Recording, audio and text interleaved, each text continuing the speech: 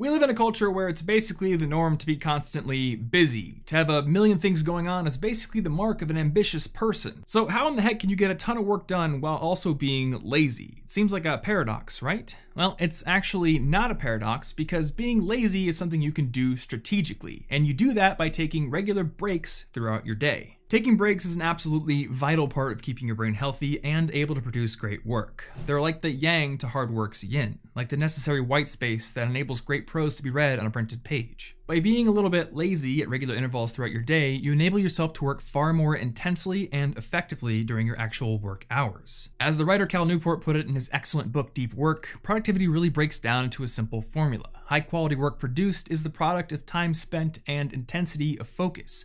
But when you don't use a little bit of this time for these pockets of laziness, you rob yourself of the ability to focus intensely at all. We often like to think of our brains as similar to computers, but this is one area where the two are vastly different. See, computers are designed from the ground up to be able to run on a steady supply of power, of electricity. And in return, they can work pretty much ceaselessly and tirelessly. Aside from the occasional update or crash, a computer can work like a certain battery powered bunny for hours and hours and keep on going without a break. And we can't. You and I are both products of millions of years of evolution that is always dependent on a cycle of work and rest, stressful exertion, and relaxation. And this applies just as much to our brains as it does to our muscles and all the other parts of our bodies. As the writer Joe Robinson put it, the brain is usually seen as an ethereal realm that exists apart from the body and the laws of physiology. Yet, gray matter tires well before the body does. Since almost all of us are doing mental work these days, managing cognitive resources is not a nice thing to be able to do.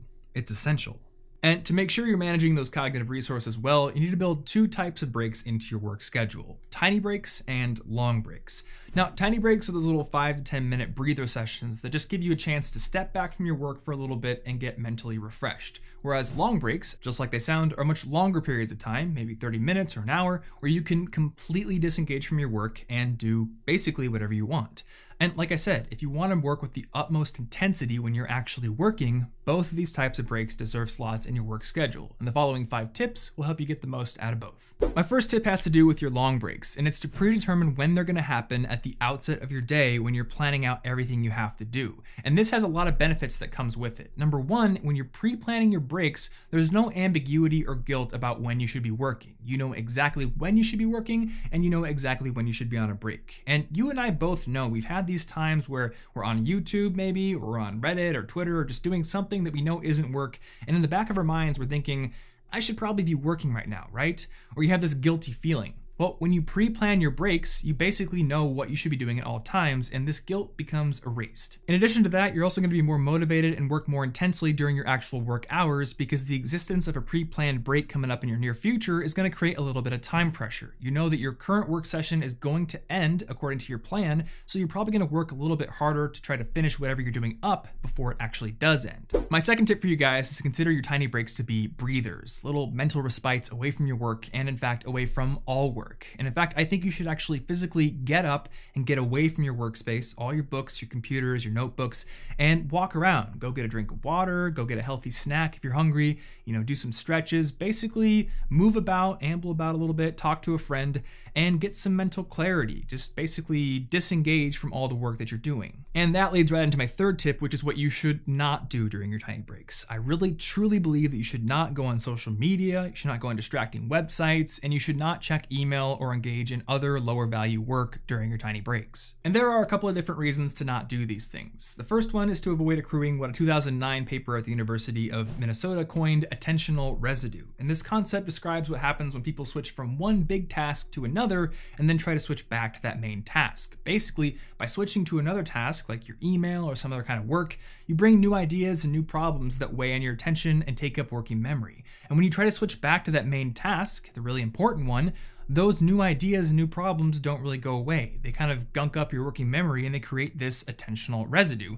And that can really lower your productivity and impede your ability to get back into the flow state. Secondly, and this is something I probably don't have to tell you because you know just as well as I do from personal experience, social media and distracting websites can turn a five minute break into a 30 minute break. I mean, these sites are absolutely engineered, designed, honed, and tested to suck up as much of your attention and time as possible. That's what the entire YouTube algorithm is designed to do. So if you expose your attention to these kind of sites during a five minute break, it's probably not gonna be five minutes. Okay, I'm gonna stop telling you what not to do and we're gonna get into the fourth tip now, which is to go for walks outside. And this is something that helps me more than almost anything else. When I'm feeling mentally drained or when I'm feeling, you know, very unmotivated and I just can't get into the flow of my work, without fail, going outside and going for a walk always lifts my mood and helps me get back into the flow of work like nothing else can. The fact of the matter is, our bodies and our brains are built from the ground up to move a lot, and we're not adapted to sitting in chairs for eight hours and looking at squiggly lines on sheets of paper all day. So when you need a break, get up and go outside and take a walk. And I am far from the first person to advocate this. In fact, almost 2,000 years ago, the Roman philosopher Seneca once said, It does good also to take walks out of doors, that our spirits may be raised and refreshed by the open air and fresh breeze. And he didn't know this at the time, but also you get vitamin D. Furthermore, as Barbara Oakley points out in her book A Mind for Numbers, taking walks is a great way to get your brain out of that focused mode of thinking and into the just as important diffused mode of thinking, where you can enlist a lot more of your subconscious resources to solve problems in ways that the focused mode can't. Lots of great scientists and thinkers and inventors over the years are famous for using this technique to make their breakthroughs. In fact, Charles Darwin would use a huge chunk of his workday to walk all around his property to mull over large problems that he couldn't solve while he was at his desk. So to sum up this particular tip and to put a bow on it, I think at least one of your breaks every single day should involve a walk that takes at a minimum 10 minutes to do. If it's outside, that's awesome, but even if it's not, if it's really cold like it is for me, doing it inside has a lot of benefits. And that brings me to my final tip for you guys, which is to experiment with the time intervals between your work sessions and your tiny breaks. Because there are a lot of systems out there that try to suggest the quote unquote best ones. I mean, there's the Pomodoro technique, which says you should work for 25 minutes and then take a break for five minutes. There's the Beeminder Talk system, which is a 45 minute work session and a 15 minute break. Then there's the research done by the Desktime time tracking app, which says that 52 minutes and then a 17 minute break is the optimal solution. But I really think that it's variable. Your ability to concentrate and focus on your work is like a muscle. It's like something that must be trained, like a skill. So if you find yourself easily bored or easily distracted, start with something small like the Pomodoro technique. But if you are, you know, a productivity master, then maybe you could work for a full hour and then take a 15 minute break. It's totally variable. So if you found this video helpful, I would love it if you gave it a like to support this channel, and if you have additional suggestions or other ideas for taking effective breaks that I didn't cover here, I would love to hear about them down in the comments, and I'm sure a lot of other people would as well. Beyond that, if you're not already subscribed to this channel and you want to get new videos every single week on being a more effective student, you can click right there to subscribe, and you can also click right there if you want to get a free copy of my book on earning better grades. You can also click your mouse button right around there if you want to watch another video, and other than that, I'm going on break. See you next week.